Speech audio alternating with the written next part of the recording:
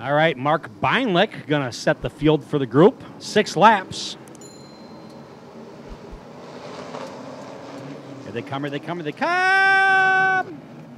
Green flag and we're racing. Turn one, Frank Beldowski off to the early lead, and there he goes. Jumping Joe Darnell trying to get, whoa, it got close there as the 52 International Harvester and the 17 car. Here comes the 11 car. Mark Beinlich on the hard inside didn't work out too good. Now he's dropped to last. But here comes jumping Joe Darnell now to challenge for the lead. That's a 1952 International Harvester. Wow, I never thought I'd see a race in my life between an International Harvester and a Chevy Camaro.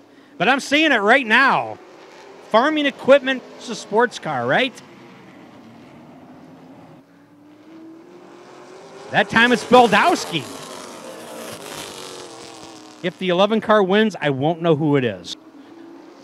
All right, here comes Jumpin' Joe.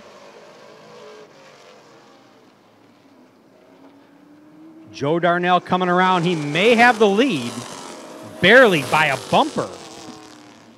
Do me a favor.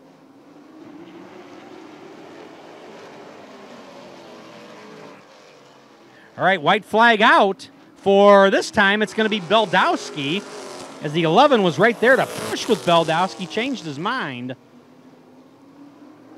It's Darnell. It's Beldowski. Who's going to win Rockford Speedway? It's going to be a finish.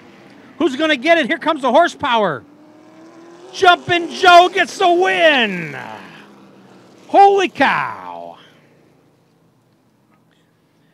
Jumpin' Joe Darnell with the win in a 1952 International Harvester. Makes his home out of Machesney Park, Illinois, sponsored by Haynes Cable Splicing LLC. How many of you were around in 1952? Not too many. All right, make some noise, Rockford Speedway. It's jumping Joe Darnell. I forgot about it.